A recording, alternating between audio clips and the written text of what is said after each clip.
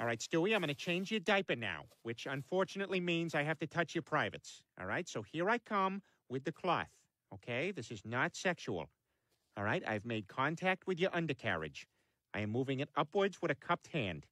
I'm looking you in the eye now. Please meet my gaze. And we're done. That was intense.